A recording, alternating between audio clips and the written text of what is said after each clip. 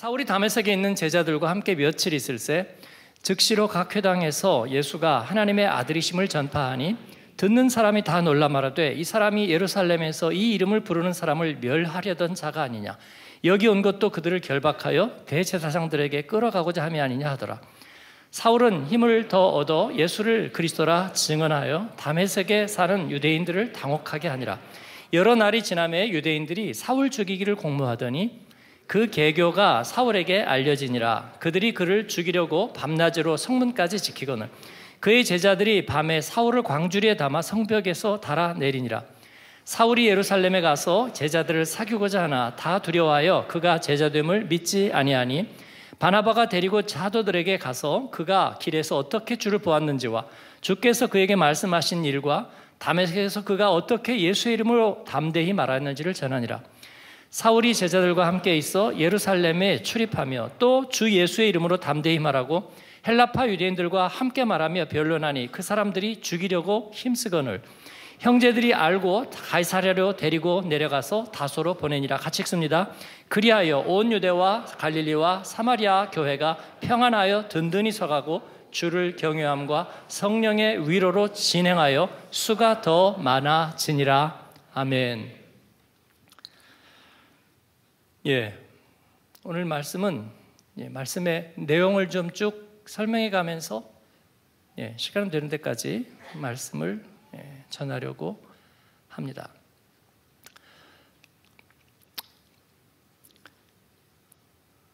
지금 예, 바울 예, 히브리 아람어 이름 사울 같은 같은 이름이에요.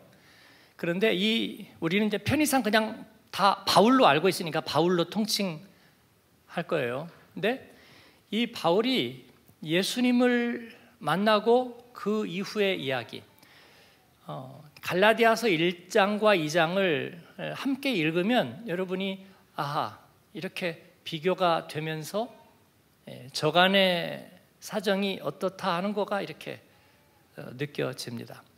또 저는 이제 바울 연구 또 바울에게 꽂혀서 왜냐하면 복음을 다시 만나고 하나님께서 어, 바울 사도에게 그 복음의 비밀을 소위 DNA의 비밀을 그렇죠?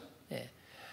어, 깨닫게 해주신 그게 굉장히 예, 경이롭고 또 궁금해서 예, 신약 성경에 있는 그 물론 바울 사도만 있는 건 아니에요. 근데 예, 그 바울 사도의 이야기에 굉장히 제가 다시 새로운 관심을 가졌어요.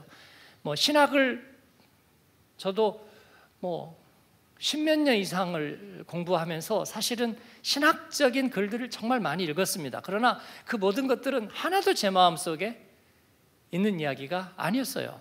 그냥 누가 한 얘기를 또 누가 참고하고 참고한 얘기를 각주 쓰면서 또 얘기하고 그것을 또 누가 어떤 가설이나 가정 가지고 또 얘기하고 뭐 그냥 그런 거예요. 인간의 생각이 생각을 낳고 생각이 생각을 모아서 생각이 생각을 정리하는 그런 거예요. 예. 정말 어느 순간에는 정말 그런 거 하기가 싫어졌어요. 옛날에는 그런 게 너무 멋지다, 굉장하다는 생각한 적도 있었는데 어느 순간에는 뭐 이게 다 무슨 소용이람 그런 생각이 확 드는 거예요. 되게 공부하기 싫을 때 그런 생각. 예. 근데 그런 건 아니에요. 공부하기 싫어서 그런 건 아니에요. 정말입니다. 그런 건 아닌데요. 그리고 이제 정말로 바울과 하나님과의 관계, 그리고 교회의 관계, 그리고 실제 그 상황에서 어떤 상황, 어떤 이야기가 있었을까? 그게 진짜 궁금해졌어요. 궁금해졌습니다. 그래서 예, 그 연구서들을 그러니까 그냥 학문적인 연구서가 아니라 정말 그런데 도움을 줄 수 있는 어, 연구소 또그 신앙적인 빛을 줄 수 있는 이야기 정말 있는 대로 제가 다 찾아봤어요. 그런데 바울의 이야기만 그렇게 다 모아서 성경에서도 이리 꿰고 저리 꿰고 저리 맞추고 이리 맞추고 그런 책들도 있어요. 네? 평생 그것만 연구한 사람도 있더라고. 그래서 그런 책도 봤어요. 근데 이제 또 여러분 그거 소개해달라고 그러지 마세요. 머리 아파요. 네. 저 혼자 읽은 걸로 충분해요. 그런 가운데서 예, 우리가 빛을 얻을 수 있는데 일단은 사도행전과 갈라디아서 그 다음에 바울서신 일부만 여러분이 이렇게 읽어봐도 예, 잘 이해가 돼요. 그래서 오늘은 그가 예수님을 만나고 그 after 이 사건들이 어떻게 진행되는가 누가는 그 기록들을 가지고 그냥 쓰고 있거든요. 그런데 그 가운데서도 벌써 뚜렷하게 드러나고 있는 것들이 있어요. 여러분이 아마 그것을 어, 느끼게 되실 거라고 생각합니다. 먼저 바울이 예수님을 만나고 눈이 멀었잖아요. 그리고 사흘간 먹지도 마시지도 않고 그러면서 이제 담에색에 직가라고 하는 거리에 가서 아나니아라고 하는 하나님이 예비한 사람을 만나도록 되어 있죠. 그런데 만나라고 할 때는 한 사람에게만 얘기하고 만나라고 하는 경우는 대부분 무책임한 경우예요. 제가 신학교 2학년 때 어, 누가 어, 청해본부 뭐 그런 데가 있어요. 청해본부 교육국이라는 데 가면 어, 영어 번역할 사람을 찾는데 어, 네가 영어를 잘하니까 제가 영어 잘하나요? 하여튼 말은 못 하는데 예, 읽고 쓰고 읽고 번역하고 이런 거 그러면서 어, 가서 얘기를 하래요. 그래서 얘기 내가 가면 그 사람이 나를 알아요? 국장이 나를 알아요? 그랬더니 아, 자기가 얘기해놨는데요. 그래가지고 정말 갔거든요. 가가지고 이제 그 옆에 뭐, 뭐 비서실인지 아니면 어딘지 얘기해가지고 예, 국장님 만나러 왔어요. 들어가래요. 그래서 갔더니 어떻게 왔어요? 그래서 어, 저는 신학대학 2학년인데요. 예, 어떤 분이 소개를 해서 영어 번역 할 수 있다고 그래서 왔다고 그랬더니 저를 보고 그래? 분명히 제 인생 경험으로 짧지만 얘기를 못 들었어요 저에 대해서 실망감이 탁 왔고 저는 그때 이제 굉장히 방골 기질이 강한 사람이에요 화가 탁 났어요 그 얘기한 사람에게 아이 믿지 못할 사람 그랬더니 저보고 얘기하는 거예요 영어 잘해? 제가 뭐라고 그랬게요 화가 나가지고 못해요. 그랬더니 그래? 네. 우리는 대학원 나온 사람 아니면 안 해. 내가 속으로 나도 알아요. 네. 그리고 안녕히 계세요. 어, 돌아나가려 했더니 아 그러지 말고 주소나 써놓고 가. 그래서 됐어요. 그 나왔어요. 태도는 굉장히 잘못됐습니다, 여러분. 네. 네. 태도는 굉장히 잘못됐어요. 예, 굉장히 잘못된 태도를 갖고 있었는데 어, 화가 나가지고 화가 나가지고 근데 여러분 소개를 하잖아요 양쪽 다 얘기를 해야 돼요 양쪽 다 예. 아니면 그 사람 모르고 어떻게 반응할지도 모르는데 그냥 가봐 라고 얘기를 할 수는 있죠 물론 그런데 갈 사람은 별로 없습니다 별로 없어요 그죠? 예. 진짜로 아쉬운 사람 아니면요 대부업체 가서 돈이라도 빌릴 그런 위기에 처해 있는 사람 아니라면 그렇게 갈 사람 없다고. 그래서 양쪽 다 얘기하는 거예요. 예수님이 하시는 일, 바울에게 얘기하고 아나니아에게 얘기했다는 거예요. 신약 성경의 이야기 그렇게 되어 있어요. 여러분, 양쪽 다, 양쪽 다 얘기해요. 양쪽 다. 그러니까 여러분이 기도하고 하나님께서 소원과 확신을 주시잖아요. 그러면 그 반대편에서 또 주시는 거예요. 그 저희가 기도하면 하나님이 우리에게 응답 주시는 것만 저는 생각했어요. 근데 어느 날 저희는 아프리카를 다니고 또 하면서 선교의 일에 있을 때 어느 날 제가 소원이 생기는 거예요. 왜 소원이 생길까? 궁금해하지 않았는데 어느 날 알게 됐어요. 누군가가 기도했는데 가보니까 저 사람들이 오래 기도했대. 근데 우리는 그거를 뭔가 섬기려는 소원을 갖고 있는 거예요. 주님이 둘 다에게 알게 해주신 거예요. 놀랍지 않아요? 그러니까 내가 사람이 좋아서 내가 믿음이 좋아서 선심 쓰려는 마음이 내가 생긴 게 아니고요. 우리는 내 돈 좀 나가면 내가 엄청 헌신하고 좋아서 그런 줄 아는데 하나님이 소원을 주시지 않으면 의미가 없어요. 그렇지 않아요? 그런데 그것을 누군가는 하나님을 향해서 기도하죠. 지난번에 탈북 선생님 청소년 아카데미 와서 한 분처럼 하나님 돈 좀 주세요. 그랬대잖아요, 처음에. 얼마나 돈이 없으면. 자존심 상하니까 북한에서 왔다고 어디 가서 손 벌리면 저것들 그럴까봐 얘기는 못하고 그 대신에 하나님한테는 했다는 거 아니에요. 그런데 누군가가 그때마다 돈을 주시더라는 거예요. 근데 그 사람은 뭣도 모르고 그런 게 아니라 하나님께서 역시 양쪽에게 알게 하시는 거예요. 그렇지 않나요? 근데 그 얘기를 누가는 하고 있는 거야. 누가가 그런 걸 알았을까요? 그런데 이 복음의 이야기들을 듣고 수집하고 자기가 후에는 직접 다니면서 보잖아요. 그러면서 아마 누가는 제가 생각할 때는 반반이에요. 하면서 느끼기도 할 수도 있고 아니면 몰랐을 거예요. 몰랐는데 쓰다 보니까 그렇게 나타나는 거야. 그렇지 않나요? 복음의 길을 가다 보면 우리가 그렇게 알게 돼요.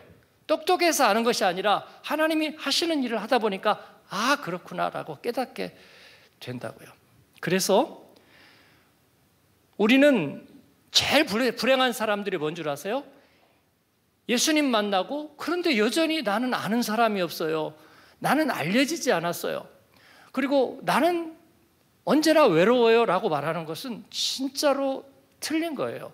잘못된 거예요. 왜냐하면 오늘 말씀에 보니까 어떻게 돼 있냐면 담의 세계에서 추노꾼들, 예수 믿는 사람을 잡으려고 갔잖아요. 그러니까 담의 세계에 있는 그리스도인들은 전부 다 두려워하고 그리고 그 반대편에 서 있는 유대인들은 힘을 얻고 살기가 등등하고 그런데 그가 아나니아를 만나서 아나니아는 처음으로 형제 형제 사울이라고 얘기하는 그런 벌써 다른 세계에 들어갑니다. 너무나 인생에서 듣지 못했던 친근한 음성을 듣고 예수님의 음성을 들었고 아나니아 얘기를 듣고 그리고 예수님이 아나니아를 통해서 안수할 때 그의 눈에 비늘 같은 것이 벗어지고 지난주 설교죠.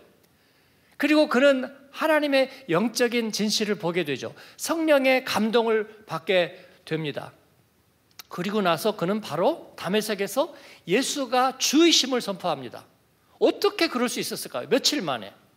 자기를 잡으려 왔던 사람이 며칠이 안 되어서 예수가 주의심을 선포하는 거예요. 예수가 주의심을 이라는 말은 무슨 말이냐면 갈라디아서 1장에 그렇게 나옵니다. 하나님이 우리의 죄를 위해서 자기 아들을 우리에게 주셔서 그를 십자가에서 죽, 죽게 하심으로 우리를 구원하셨다. 이게 무슨 말이에요, 여러분? 이게 무슨 말입니까? 바울도 이게 무슨 말인지 몰랐을 텐데 성령께서 그를 깨닫게 하실 때 이걸 알아버린 거예요. 이걸 알아버린 거예요. 우리 죄를 위해서 아들을 주셨다는 말이 무슨 말이에요, 여러분? 우리 죄를 위해서라는 말은 아하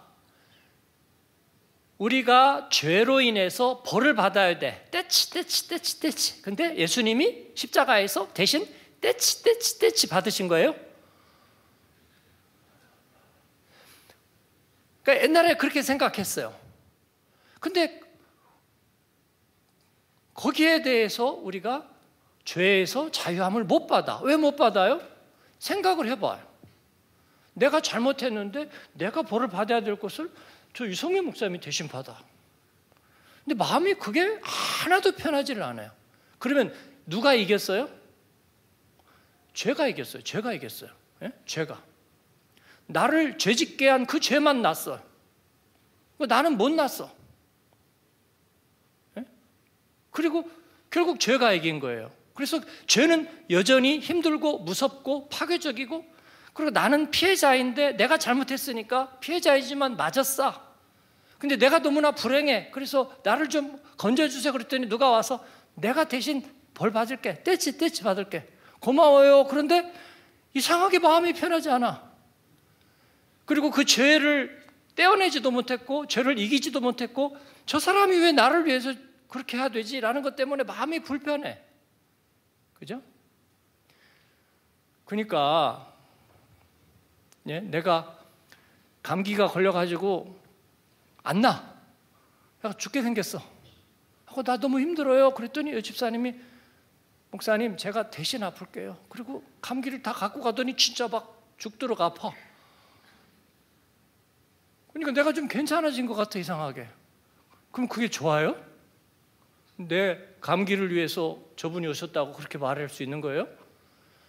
감기는 결국은 아무도 못 이겼어. 저분도 못 이기고 나도 못 이겼어. 근데 내가 가질 것을 저 사람이 가져갔어요. 결국은 감기가 기승을 부리는 거잖아. 그러니까 우리 죄를 위하여 예수께서 죽으셨다는 말은 그런 말이 아니에요. 그 말은 뭐냐면 죄가 우리 안에서 나를 무너뜨리려고 하는데 무너뜨릴 수 있는 힘을 뺏어버린 거예요.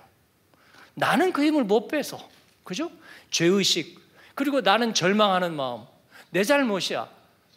거기서 벗어나지를 못해.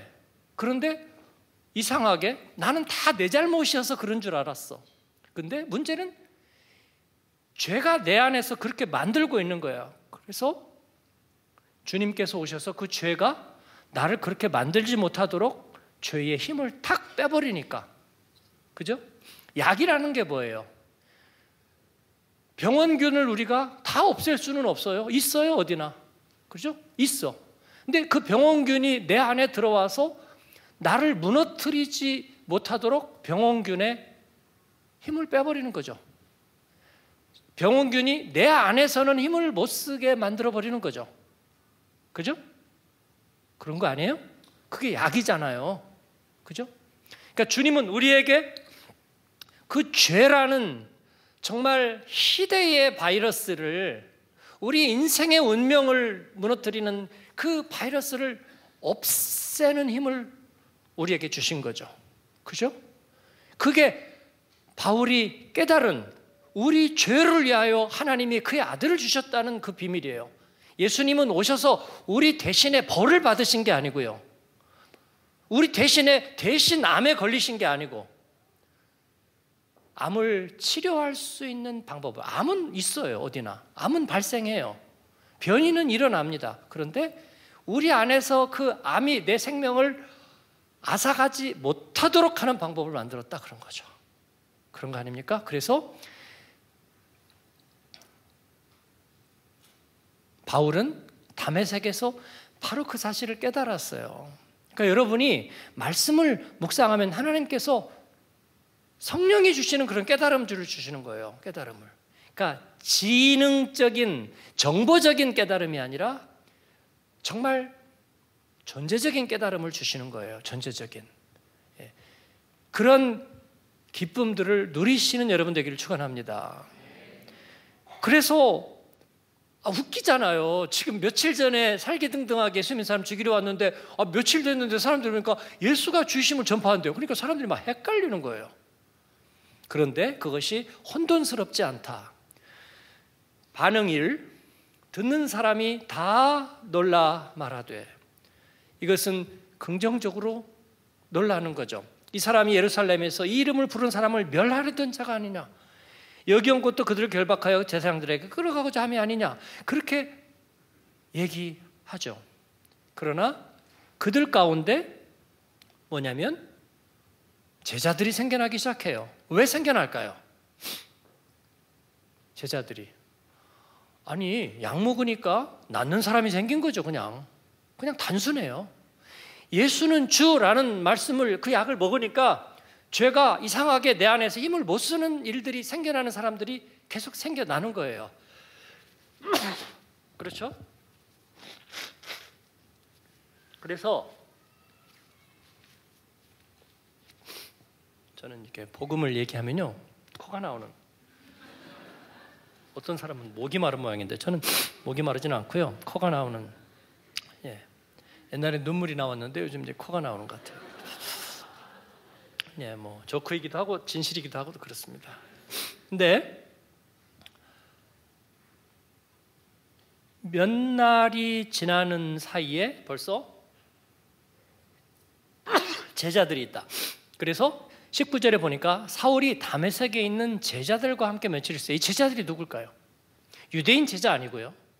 예수님 사람을 죽이려고 단 제자들 아니고 그 사이에 벌써 예수는 주 하나님의 아들이심을 그 하나님이 우리 죄를 위하여 그 아들을 주셨다는 이 사실에 의해서 벌써 자유함을 얻고 기쁨을 얻고 어 이상해 은혜가 나를 둥둥 떠가지고 이렇게 밀어내는 것 같아. 내가 힘을 전혀 못 쓰겠어. 그런 사람들이 생겨났다는 거예요. 여러분 그렇게 믿으십니까?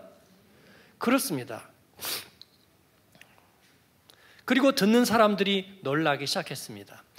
어, 리액션 2 22절에 보니까 담의 세계에 있는 유대인들을 당혹하게 아니라. 예. 여전히 부정적인 리액션도 있었다는 거예요. 그리고 리액션 3 23절에 보니까 여러 날이 지남에 유대인들이 좀 띄워주세요. 예? 유전 목사님, 응? 가만히 있지 말고. 여러 날이 지남에 유대인들이 사울 죽이기를 공모하더니, 즉 이 바울을 이제 아 저거 안 되겠다 죽이려고 하는 유대인들이 또 생겨났다는 말이에요. 이 바울이 전에 그쪽 편에 서 있었잖아요. 근데 그를 죽이려고 하는 자기 편에 굉장히 어, 대변인처럼 중요한 역할을 하겠다고 생각했는데 그 적 그리스도들이 이제는 안 되겠다. 그 얘기는 뭘까요?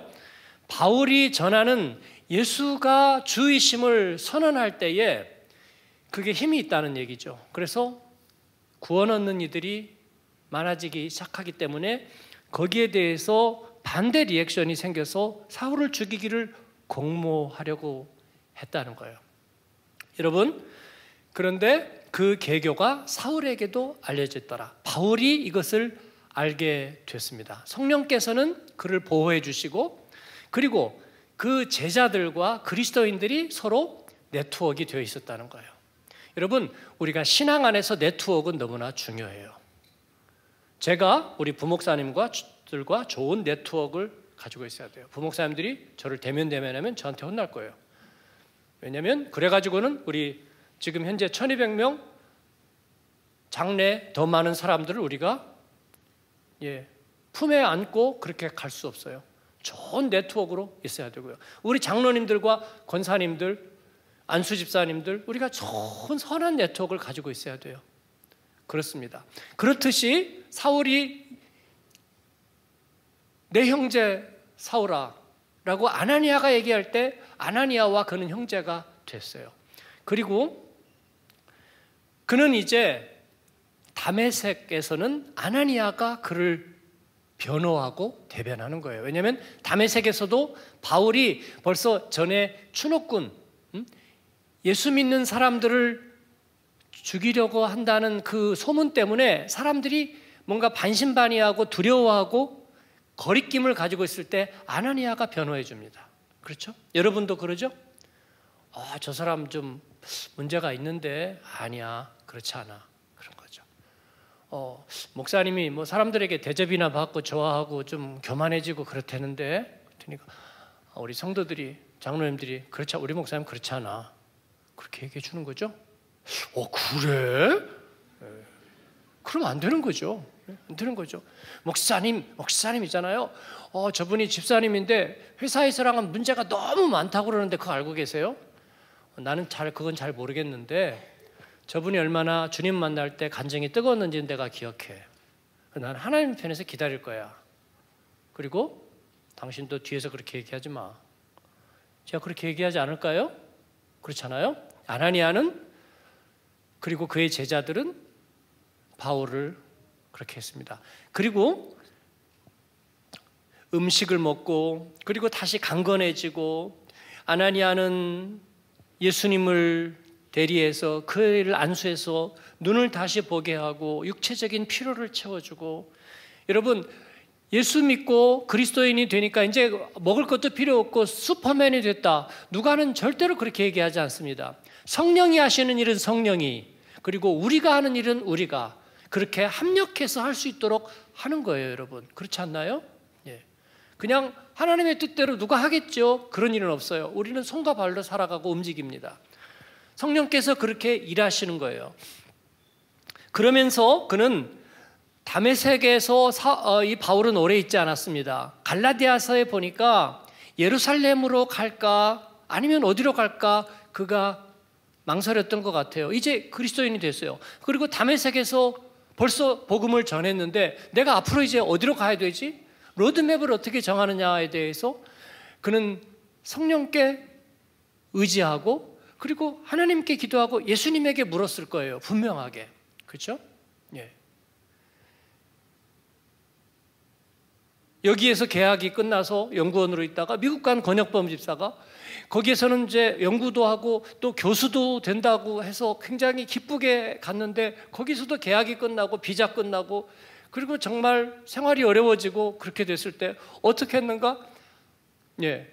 그가 서울대 박사고 동경대 포닥이고 여기 막스 플랑크 연구소에 있었고 뭐 그게 무슨 소용이 있어요? 비자 끝나고 계약 끝나고 그리고 가족과 자식은 있는데 먹고 살 길은 막연하고 한국에 돌아가도 무엇을 해야 될지 모르고 그래서 한 건 뭐예요? 큐티한 거죠. 큐티한 거죠. 그래서 그 큐티할 때마다 하나님께서 답을 주셨다는 거 아니에요. 야 정말 어려워지니까 지푸라기라도 잡는 심정이 지푸라기 하나님이 무슨 지푸라기예요, 여러분. 예. 그래서 길을 열어 주시면서 그런데 연구소도 대학도 아니고 이제는 뭐 그런 제약회사 예, 그런 또 코로나 이후에 이제 막 각광을 받기 시작하는 그런 데들 예, 거기다 하는데 비자가 없으니까 지원을 못 하죠. 근데 하나님께서 확신을 주셔 가지고 냈더니 거기서는 비자도 해 준다.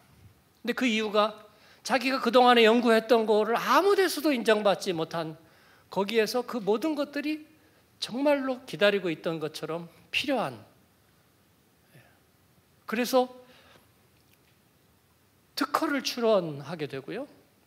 그리고 어워드를 들어가 가지고 어워드를 두 개나 받고 제가 미국에 집회를 갔을 때 찾아와 가지고 네, 간증을 하는 거잖아요. 네, 그렇습니다. 말씀을 묵상하고 있을 때 하나님께서 그의 길을 인도하시는데 오늘 말씀에 보니까 여러 날이 지남에라고 되어 있는데요. 그 여러 날이 얼마나 되는 날이냐면 갈라디아서 보니까 3년으로 되어 있어요. 3년으로. 그는 어디로 갈까? 하나님께서 예루살렘으로 가면 베드로와 사도들을 만나게 되잖아요. 그런데 하나님께서 자신에게 계시로 그 아들에 대해서 너무 많은 것을 알려주시기 때문에 그 바울이 나의 복음이 자신의 복음이 무르익어가는 시간이 필요했어요. 그게 너무나 그 은혜가 그 계시가 너무나 크므로 그래서 아라비아로 가는 거예요. 아라비아는 뭐냐면 다메섹은 아라비아 북쪽하고 바로 연결되어 있어요. 그곳에 가서 말씀의 묵상 칼빈은 그 기독교의 정말 전무후무한 저작이라고 할 수 있는 그 기독교 강요를 제네바에서 추방당하면서 이제 슈트라스부르에 난민들을 돌보는 자리에서 3년 있으면서 그 기독교 강요라는 엄청난 대작이 거기에서 쓰여지게 되는 거예요. 예, 바울 사도가 고린도에서 로마서라는 그런 복음에 대한 위대한 글을 쓰게 된 것처럼 말이죠. 예. 그래서 아라비아에서 3년을 지내고 그리고 다시 다메섹으로 왔어요. 그랬더니 여전히 그를 죽이려는 사람들이 한 무더기 한쪽에는 있고 그러나 또 한쪽에는 그를 통해서 그리스도를 안 사람들이 이미 제자를 이루고 있었다 하는 거예요, 여러분. 예? 이 두 가지는 절대로 뒤섞이거나 뒤집어지지 않아요. 여러분이 선택하면 돼요. 불신앙의 생각대로 아 예수 믿어봐야 소용없어. 세상은 지가 알아서 살기 나름이야. 라고 살아가는 사람들 따로 있고요. 그러나 그리스도 안에서 성령의 인도함을 받아서 하나님이 주시는 힘으로 간증하면서 그리고 잘 되는 사람들 따로 있어요. 이 사도행전 9장에는 그 두 그룹이 교차하면서 그대로 그대로 얘기하고 있어요 저도 이런 거 몰랐어요, 옛날에는. 그래서 예수 믿어도 안 되는 건 안 되는 거고, 예? 되는 것도 꼭 예수 믿어 된 게 아니라 뒷걸음질 치다가 쥐도 잡는 거고, 그럴 만한 사람이 있기 때문에 그렇게 된 거고, 그렇다고 해서 보장도 없고, 그런 거예요. 그러니까 이것도 저것도 죽도 밥도 아닌, 그러나 그렇지 않다는 것을 분명하게 얘기해 주고요. 그랬더니 그를 죽이려고 하던 사람들은 그를 죽이려고 성문까지 밤낮으로 지켰대요. 3년이 지났는데 놀랍지 않아요? 이 말은 그만큼 바울 사도와 그 복음이 정말 핵폭탄급, 허리케인급 영향력을 가지고 있다는 거예요. 영향력을. 여러분에게도 하나님께서는 그런 영향력을 주실 거라고 분명히 믿습니다. 그래요. 근데 그 제자들이 밤에 사울을 바울을 광주리에다가 담아서 담에색 성벽으로 내려줬대요. 야 비굴하게 모양 빠지게 그게 뭐야? 에? 예? 아니요 모양 하나도 안 빠져요. 성령께서 인도하시는 방법이에요. 예? 포르쉐를 타고 하든지 아니면은 광주리를 타고 내리든지 하나님께서 해주시는 방법 아니에요, 여러분? 예? 그렇습니다. 비행기 못 타면 자전거 타고 가는 거잖아요. 실크로드. 그렇지 않나요? 예. 하나님께서 그렇게 하시는 거죠. 그래서 그는 어디로 갑니까? 26절에 보니까 굉장히 압축된 이야기예요. 그 나중에 바울이 직접 쓰는 이야기를 보면 어, 길게 나와 있어요. 예루살렘으로 갑니다. 그 26절 사울이 예루살렘에 가서 그러니까 아라비아 3년 갔다 와서 하나님이 그의 그 복음을 가슴에 가득 채워 주셨어요. 그러니까 여러분도 큐티 해가지고 어디다 버리지 마세요. 그 가운데 하나님이 주신 응답과 진실들이 있다고요. 분명하게. 그죠? 네, 있습니다. 근데 그리고 나서 담에색에 왔는데 자기를 죽이려고 하는 사람들. 그런데 그 제자들은 마치 준비라도 하고 있는 것처럼 사울과 네트워크가 돼 있었다는 거예요. 여러분 그래서 우리가 선한 네트워크를 가지는 거예요. 그냥 나중에 돈 빌릴, 돈 빌릴지 모르니까 명함 한 장 이렇게 주고 그런 네트워크가 아니라 정말 성령 안에서의 네트워크예요. 그죠? 예. 그리고 예루살렘에 갔는데 가가지고 보름을 있으면서 바울이 만난 사람은 예수님의 수제자 베드로 만났고 예수님의 육신의 형제 야고보 만났고 그리고 다른 사람은 만나지 못했다고 갈라디아에서는 얘기하고 있습니다. 그런데 그 이유 중에 하나가 예루살렘에 가서 예수 믿는 제자들을 사귀고자 하는데 그들이 다 두려워했어요. 왜냐하면 바울의 악명을 이미 알고 있기 때문이에요. 왜냐하면 집에서 깨진 바가지는 밖에서도 깨진다. 그런 생각을 그들이 하고 있었기 때문이에요. 그때에 누가 나타나느냐면 누가 나타나요? 바나바가 나타납니다. 예수 믿으면 나를 옹호해주는 사람이 생겨요. 그러니까 내가 그리스도의 사람이 되면 나를 옹호해 주는 그리스도의 사람이 있단 말이에요. 그러니까 내가 한 사람이 그리스도인이 되면 그거 하나로 끝나는 게 아니라 아까도 말씀드린 것처럼 또 다른 사람이 예수를 믿어서 이 사람을 서로 돕도록 만들어 주는 거예요. 뭐, 못 믿겠으면 어쩔 수 없어요. 근데 예, 성경을 보시면 분명히 그렇고요. 그리고 우리가 그리스도인의 삶을 살 때 그것을 알게 되는 거예요. 그러니까 뭐 뭐 큐티했는데 주차장 자리 안 났다고 하나님 없어. 그렇게 하면 안 돼요, 여러분. 예? 예? 그러니까 그런 반대의 일들은 세상에서 여전히 있어요. 예? 불신앙적인 일들은 여전히 있어요. 그러나 우리가 성령에 눈을 떠서 하나님이 예비하신 일들을 봐야 돼요. 하나님이 예비하신 일들을. 그래서 갑자기 바나바가 나타나요. 바나바가 바나바가 나타나서 사도들에게 가서 그가 바울이 길에서 어떻게 주를 보았는지, 그리고 주께서 그에게 말씀하신 일이 무엇이었는지, 뭐라고 말씀하셨어요? 네 가지를 얘기하셨죠. 하나님이 선택한 일꾼, 그러니까 아, 예수님이 선택한 나의 일꾼, 그리고 그런 나의 증인.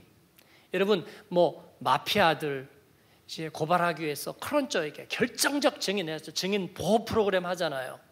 그런 것처럼 바울은 예수 그리스도의 결정적인 증인, 그리고 이방인을 위한 사도. 그 사실을 누가 바나바가 얘기해 주는 거예요. 주님이 임명한 사람이라는 것을 바나바가 보증해요. 우리는 서로에게 보증합니다. 오늘 큐티 세미나 수료하신 분들, 예, 우리 지킴이들이 또 보증해요. 그리고 우리가 보증해요. 우리 교회 직분을 맡으신 분들은 예, 제가 보증하고 같이 보증해요. 아니, 저 사람이 이제 믿음도 식어지고 어디 가서 주님 얼굴 먹칠하는 줄 어떻게 알고 보증을 합니까? 우리는 천국 갈 때까지 같이 갈 거기 때문에요. 망해도 흥해도 우리는 주님 앞에 끝까지 같이 가야 되기 때문에 우리는 서로 보증해요. 주님이 그렇게 맡기셨어요. 할렐루야. 그렇습니다. 그렇습니다.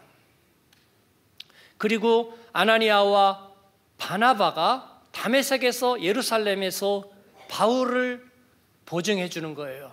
아라비아 혼자 갔다 왔어요. 무슨 일이 나는지 몰라요. 그러나 하나님께서 그에게 그런 마음을 주셔서 보증해 주십니다. 보증해 주세요. 저희가 제자 훈련하고 그리스도의 사람을 세우는 것을 우리 목사님들이 보증을 해주는 거예요. 우리가 해보니까 정말로 그렇습니다 라고 보증을 해주는 거예요. 안 그러면 제가 우리 교인들 외에 다른 분들에게는 얘기할 수가 없잖아요. 네. 그리고 예루살렘에서 담에색에서. 근데 감추지 않아요. 거기에서 여전히 죽이려고 하는 사람들이 있었다는 거죠. 예루살렘에 가서 바나바가 그렇게 담대하게 소개를 해주고 그렇게 했는데 29절에 보니까 헬라파 유대인들이 다시 바울을 죽이려고 했다. 그런 일들은 계속 일어나지만 그러나 성령의 인도하심만을 보고 가는 거예요. 그래서 형제들이 또 이것을 알았대요. 왜 몰랐겠어요? 하나님께서는 알게 해주시는 거예요. 각 성에서 환란이 기다린다 하는 것을 나중에 바울에게 성령께서 알게 해주세요. 그리고 우리들에게 서로 알게 해주십니다. 그래서 우리가 서로 중보하고 기도하고 사랑과 선행으로 격려하는 거예요. 아니 아무개 권사님이 기도 잘하고 그런데 암이 걸렸대. 어우 교회 그만 가야 되겠다. 힘들다.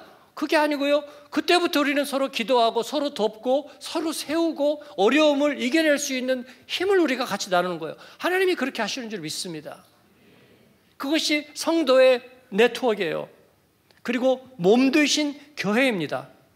그러니까 31절에는 여러분 지금 여기에 보면 그런 이야기들이 교차해서 계속 나오고 있잖아요. 근데 31절의 결론이 뭐예요? 그래가지고 정말 이상해졌더라. 아주 그냥 정신이 어지럽고 정말 힘들어졌더라라고 써야 맞잖아요. 세상적으로 보면. 그런데 여기는 뭐라 그래요? 같이 읽습니다. 그리하여 온 유대와 갈리와 사마리아 교회가 평안하여 든든히 서가고 주를 경외함과 성령의 위로로 진행하여 수가 더 많아지니라. 아멘. 제가 옛날에 그냥 뭐 신학 책이나 이렇게 읽고 그럴 때에는 이런 얘기는 전부 다 뻥. 성경에서 그냥 쓰기 위해서 그냥 쓴 얘기. 그죠? 마치 옛날에 돈 보내달라고 공부하는 학생들이 부모님한테 할 때 부모님 전상서 그런 말.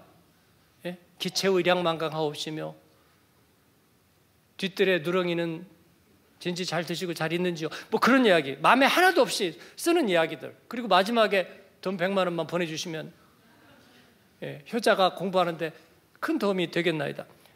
예, 그런 얘기로 저는 알았어요 그런데 그러면 성경을 왜 믿어? 근데 왜 이렇게 얘기를 했느냐? 그렇다는 거예요, 여러분. 세상이 어떤 식으로 발전을 해가고 우리를 어떻게 비아냥거리고 그리고 적그리스도가 아무리 흥황해도 하나님은 하나님이라 하신다. 그렇습니다. 선은 악에게 영향받지 않는다. 하나님은 선하심을 통해서 선하심을 이뤄간다. 여러분 사도행전은 그런 확신을 우리에게 주는 줄로 믿습니다. 그래서 우리가 복음의 언어를 세우자, 믿음의 문장을 만들자, 예능 언어 따오지 말자, 그렇죠? 정치적인 언어 추방하자, 무슨 갈라치기, 꼬리 자르기, 또 뭐예요? 예, 정치적인 언어들. 남자 성도들, 예, 그런 언어들 추방하시기를 축원합니다. 예, 그리고 예능적인 언어들 저도 아재 개그 이제 안 하기로 했어요. 사실은 제가 너무 수준 높고 고상한 유머를 하던 사람인데 여러분이 수준이 안 맞아서 제가 오늘 아재 개그 하니까 재밌더라고. 그래서 성경에 마리아가 말이야. 어?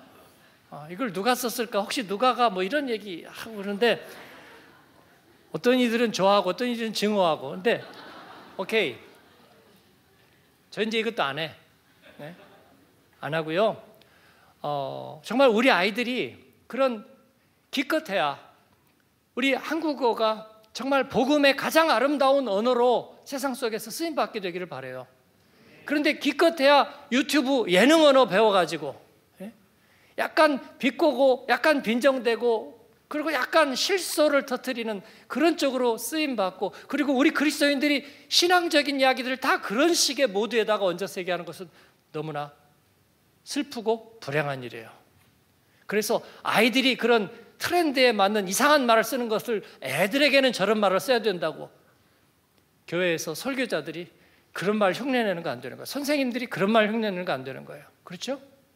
그렇습니다. 그래서 우리가 누가를 통해서도 배우고 성경을 통해서도 그런 그런 말들을 찾아내자.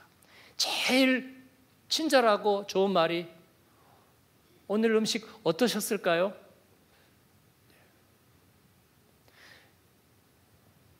저는 그렇게 중성화된 표현, 주어가 분명해지면 뭔가 부담을 주고 무리하다고 생각하기 때문에 주어도 감추고 그리고 동사가 누구를 가르치는지도 얘기하지 않는 예, 오늘 인터뷰 좀 어떠셨을까요? 예, 완전히 중성화된 표현.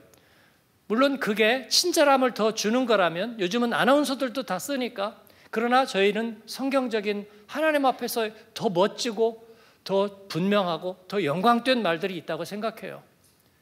하나님 앞에서 우리 그 말들을 찾아내자 그렇게 말씀드리고 싶습니다. 이건 한국어에 국한되는 이야기가 아닙니다. 모든 언어는 공통된 거예요, 사실은요.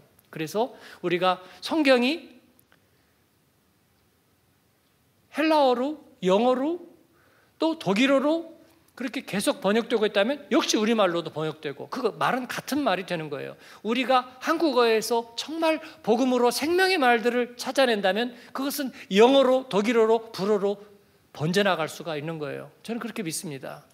복음의 언어를 세우자 그렇게 말씀을 드리고 싶습니다. 말씀 맺겠습니다. 마지막으로 그들은 교회가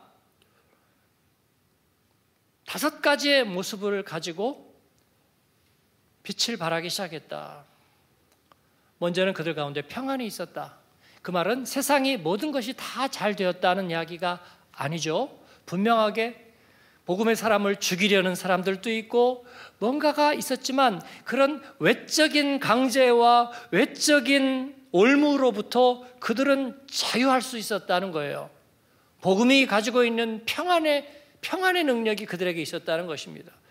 여러분에게 그런 평안이 있기를 바랍니다. 두 번째는 뭐예요? 그러면서 든든히 서갔다는 말은 뭡니까? 든든히 서갔다는 말은 힘이 있었다는 것입니다. 그리스도인은 힘이 있습니다. 말씀을 묵상하고 말씀을 먹고 사는 사람에게는 힘과 능력이 있는 거예요. 여러분에게 힘이 있으시기를 바랍니다. 예. 여러분이 뭐 대놓고 뭐 이렇게 막 얘기를 하고 이런 거를 사람들이 좋아하지 않을 수도 있고 때로는 그게 에, 폐가 될 수도 있잖아요. 그러나 여러분이 스스로 기도하고 그런 모습, 예. 아, 저 사람이 가끔씩 혼자 기도하는 모습을 볼 때 나는 혐오감을 느끼는 게 아니라 정말 존경스럽고 뭔가 거룩함을 느껴. 예. 그게 힘이죠, 힘. 예. 내 안에 있는 것이 부끄러운 것이 아니라 힘이 되는. 그들에게는 그런 든든히 서가면서 그리스도인들에게는 힘이 있었다는 거고요. 그다음에 세 번째는요. 성령의 도우심이 있었다. 성령의 위로하심이. 왜냐하면 성령의 사역, 우리를 위로하고 그리고 치유하는 힘이 그들 안에는 계속 있었다는 거예요. 그 다음은 주를 경건, 예, 주를 경외하는 것, 즉 경건 생활이, 영적 생활이 그들 안 가운데는 있었고요. 그리고 그들이 수적으로 성장했습니다. 수적으로 성장했어요. 여러분의 모든 믿음의 삶이 성장하기를 바랍니다. 아멘. 여기까지 하겠습니다. 오늘 이 말씀을 한번 쭉 보면서 예, 어떻게 세상에서 적그리스도적인 일들이 일어나는 가운데 있어서도 예수 그리스도의 비밀이 정말 섬세하게 하나님의 사람들이 예비되고 그들이 서로 연결되면서 하나님은 교회가 평안히 든든히 서가고 바울이 예수님 만나기를 너무나 잘했습니다. 하나님과의 관계가 교회와의 관계가 세상과의 관계가 전혀 달라지는 거고요. 그리고 그를 돕는 이들이 그를 따르는 이들이 주님 안에서 계속 형성되는 거예요. 여러분이 그런 클럽에 들어오게 되신 것을 환영하고 축복합니다. 우린 이 일을 계속하겠습니다. 주님 만난 이유는 더더욱 좋을 겁니다. 어떤 이는 예수 믿고 그랬는데 이상하게 뭐가 꼬이고 그래요. 그럴 리가 없습니다. 그럴 리가 저는 없다고 생각해요. 뭔가가 섞인 거예요. 뭔가가 섞인 거예요. 그렇지 않은데 저쪽 편의 정보를 잘못 가지고 온 거예요. 그럴 리가 없습니다. 주님께서는 선하신 일을 계속하실 겁니다. 그런 여러분들 되기를 축원합니다. 아멘. 우리 응답 찬양하고